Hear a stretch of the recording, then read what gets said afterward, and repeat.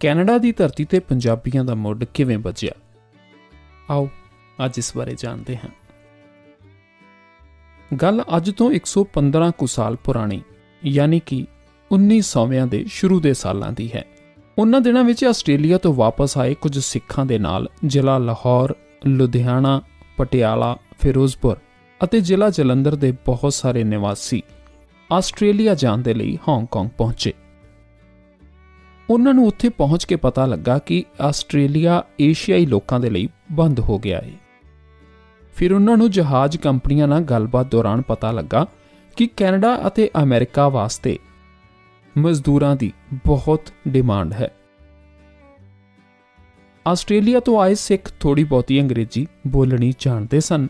ਉਹਨਾਂ ਨੇ ਅਮਰੀਕਾ ਦੇ ਵਪਾਰੀਆਂ, ਕੰਪਨੀਆਂ ਦੇ ਏਜੰਟਾਂ ਅਤੇ ਪਾਦਰੀਆਂ ਤੋਂ ਇਸ ਗੱਲ ਦੀ ਪੁਸ਼ਟੀ ਕੀਤੀ ਕਿ ਅਮਰੀਕਾ, ਕੈਨੇਡਾ 'ਚ ਮਜ਼ਦੂਰੀ ਬਹੁਤ ਘੱਟ ਹੈ। ਘੱਟੋ ਘੱਟ 5-6 ਰੁਪਏ ਦਿਹਾੜੀ ਮਿਲ ਜਾਂਦੀ ਹੈ। ਜਦਕਿ ਫਿਜੀ, ਵੈਸਟ ਇੰਡੀਜ਼ ਅਤੇ ਹੋਰ ਟਾਪੂਆਂ ਤੋਂ ਆਏ ਲੋਕ ਭੁੱਖ ਦੁੱਖ ਦੀਆਂ ਹੀ ਕਹਾਣੀਆਂ ਸੁਣਾਉਂਦੇ ਸਨ। ਇਹ ਸਾਰੀਆਂ ਗੱਲਾਂ ਸੁਣ ਕੇ ਉਹਨਾਂ ਸਿੱਖਾਂ ਨੇ ਕੈਨੇਡਾ, ਅਮਰੀਕਾ ਵੱਲ ਜਾਣ ਦਾ ਫੈਸਲਾ ਕਰ ਲਿਆ।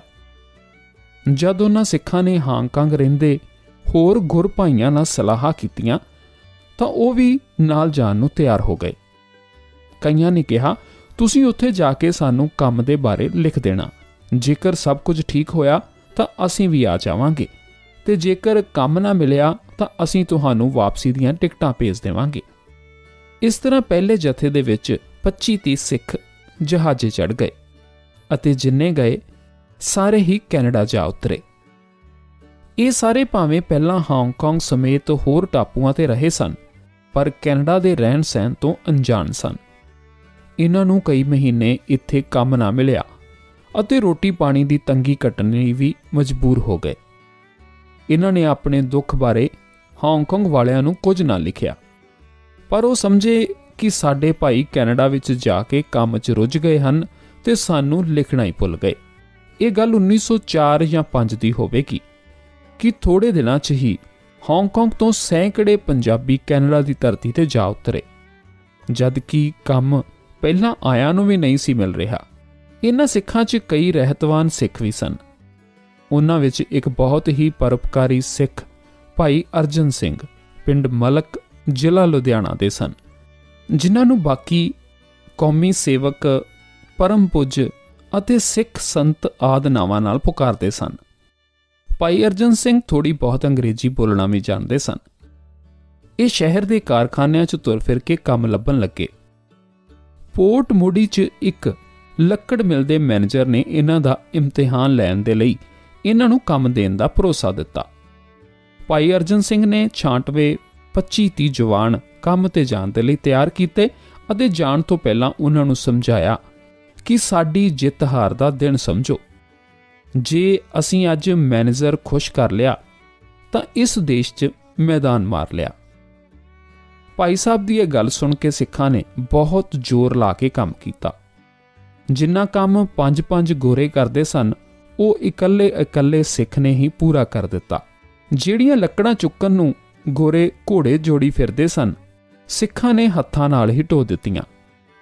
ਜਿੱਥੇ ਗੋਰੇ ਰੇੜੇ ਜੋੜਦੇ ਫਿਰਨ ਉੱਥੇ ਦੋ ਦੋ ਸਿੱਖ ਮੋਢਿਆਂ ਉੱਪਰ ਲੱਕੜ ਚੁੱਕੀ ਫਿਰਨ। ਜਿੱਥੇ ਗੋਰਿਆਂ ਦਾ ਰੇੜਾ ਘੋੜੇ ਖਿੱਚਦੇ, ਉੱਥੇ ਸਿੱਖ ਆਪ ਹੀ ਰੇੜਾ ਖਿੱਚ ਦੇਣ।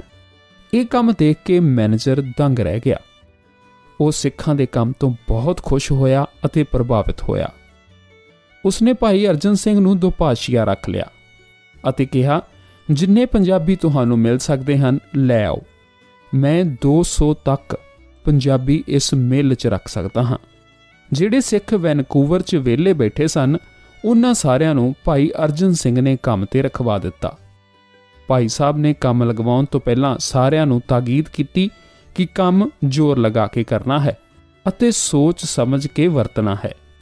ਇਹ ਨਾ ਹੋਵੇ ਕਿ ਕੋਈ ਹੋਰ ਕੌਮ ਸਾਡੇ ਨਾਲੋਂ ਚੰਗਾ ਕੰਮ ਕਰਕੇ ਵਿਖਾ ਦੇਵੇ ਅਤੇ ਸਾਡੀ ਜਗ੍ਹਾ ਤੇ ਕੰਮ ਤੇ ਆਣ ਲੱਗੇ। ਲੱਕੜ ਮਿਲ ਦੇ ਮਾਲਕ ਪੰਜਾਬੀਆਂ ਪ੍ਰਤੀ ਭੁਲੇਖੇ 'ਚ ਸਨ। ਉਹਨਾਂ ਨੇ ਕਦੇ ਪੰਜਾਬੀਆਂ ਨੂੰ ਕੰਮ ਕਰਦੇ ਨਹੀਂ ਸੀ ਦੇਖਿਆ। ਜਦੋਂ ਉਹਨਾਂ ਨੇ ਪੰਜਾਬੀਆਂ ਨੂੰ ਕੰਮ ਕਰਦੇ ਵੇਖਿਆ ਤਾਂ ਸਾਰੇ ਭੁਲੇਖੇ ਦੂਰ ਕਰ ਦਿੱਤੇ। ਗੋਰੇ ਮੈਨੇਜਰ ਨੇ ਪੰਜਾਬੀ ਮਜ਼ਦੂਰਾਂ ਦੇ ਕਾਰਨਾਮੇ ਅਖਬਾਰਾਂ 'ਚ ਛਪਵਾ ਦਿੱਤੇ। ਕੈਨੇਡਾ 'ਚ ਪੰਜਾਬੀ ਮਜ਼ਦੂਰਾਂ ਦੀ ਤਾਕ ਪਈ ਤਾਂ ਕੈਨੇਡਾ 'ਚ ਪੰਜਾਬੀ ਭਾਲਿਆਂ ਭਾਲਿਆਂ ਨਾ ਲੱਭਣ ਵਾਲੀ ਗੱਲ ਹੋਈ। ਰੇਲਵੇ ਪਟੜੀ ਲੱਕੜ ਮਿਲਦੇ ਐਨ ਵਿਚਕਾਰ ਦੀ ਲੰਘਦੀ ਸੀ। ਪੰਜਾਬੀਆਂ ਦਾ ਇੰਨਾ ਨਾਮ ਬਣਿਆ ਕਿ ਰੇਲ ਗੱਡੀ 'ਚ ਸਫ਼ਰ ਕਰਨ ਵੇਲੇ ਕੈਨੇਡਾ ਦੇ ਯਾਤਰੂਆਂ ਨੇ ਰੇਲਵੇ ਕੰਪਨੀ ਤੋਂ ਲੱਕੜ ਮਿੱਲ 'ਚ 5 ਮਿੰਟ ਦੇ ਲਈ ਗੱਡੀ ਰੋਕਣ ਦੀ ਸਿਫਾਰਿਸ਼ ਕੀਤੀ ਕਿ ਉਹ ਪੰਜਾਬੀਆਂ ਨੂੰ ਕੰਮ ਕਰਦੇ ਦੇਖਣਾ ਚਾਹੁੰਦੇ ਹਨ।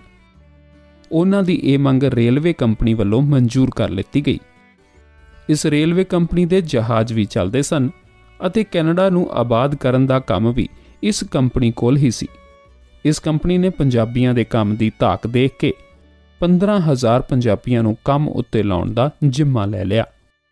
ਕੰਪਨੀ ਨੇ ਇਹ ਸਾਰੀ ਜ਼ਿੰਮੇਵਾਰੀ ਲਈ ਕਿ ਜੇ ਪੰਜਾਬੀਆਂ ਨੂੰ ਕੰਮ ਨਾ ਮਿਲੇ, ਤਾਂ ਉਹ ਕੰਮ ਉੱਤੇ ਰੱਖੇਗੀ ਜਾਂ ਬਿਨਾਂ ਕਿਰਾਇਆ ਲਏ ਆਪਣੇ ਖਰਚੇ ਤੇ ਹਾਂਗਕਾਂਗ ਪਹੁੰਚਾ ਦੇਵੇਗੀ। ਇਸ ਤਰ੍ਹਾਂ ਦੋਸਤੋ, ਕੈਨੇਡਾ 'ਚ ਪੰਜਾਬੀਆਂ ਨੇ ਆਪਣੀ ਸਖਤ ਮਿਹਨਤ ਨਾਲ ਝੰਡੇ ਗੱਡੇ ਤੇ ਬਾਕੀ ਕੌਮਾਂ ਨੂੰ ਪਿੱਛੇ ਛੱਡ ਦਿੱਤਾ। ਇਹ ਸਾਰੀਆਂ ਘਟਨਾਵਾਂ ਬਾਰੇ ਉਸ ਵੇਲੇ ਇੱਥੇ ਮੌਜੂਦ ਗਦਰੀ ਭਾਈ ਕਰਤਾਰ ਸਿੰਘ ਨਵਾਂ ਚੰਦ ਨੇ ਆਪਣੀਆਂ ਲਿਖਤਾਂ 'ਚ ਲਿਖਿਆ ਸੀ। ਗਦਰੀ ਬਾਬਿਆਂ ਦੀਆਂ ਇਹਨਾਂ ਲਿਖਤਾਂ ਨੂੰ ਬਹੁਤ ਹੀ ਮਿਹਨਤ ਨਾਲ ਇਕੱਠਿਆਂ ਕਰਕੇ ਕੁਝ ਸਾਲ ਪਹਿਲਾਂ ਰਾਜਵਿੰਦਰ ਸਿੰਘ ਰਾਹੀ ਨੇ ਕਿਤਾਬ ਗਦਰ ਲਹਿਰ ਦੀ ਅਸਲੀ ਗਾਥਾ ਭਾਗ 1 ਅਤੇ 2 ਦੇ ਨਾਮ ਹੇਠ ਛਪਵਾਇਆ ਸੀ। ਉਮੀਦ ਕਰਾਂਗਾ ਦੋਸਤੋ ਤੁਹਾਨੂੰ ਇਹ ਜਾਣਕਾਰੀ ਪਸੰਦ ਆਈ ਹੋਵੇਗੀ। ਚੈਨਲ ਨੂੰ ਜ਼ਰੂਰ ਸਬਸਕ੍ਰਾਈਬ ਕਰਨਾ ਤੇ ਇਸ ਵੀਡੀਓ ਨੂੰ ਆਪਣੇ ਹੋਰ ਸਿੱਖ ਭਾਈਆਂ ਦੇ ਨਾਲ ਸਾਂਝਿਆ ਜ਼ਰੂਰ ਕਰਨਾ। ਮੁੜ ਮਿਲਾਂਗੇ ਇੱਕ ਹੋਰ ਨਵੀਂ ਜਾਣਕਾਰੀ ਦੇ ਨਾਲ। ਤਦ ਤੱਕ ਦੇ ਲਈ ਸਤਿ ਸ੍ਰੀ ਅਕਾਲ।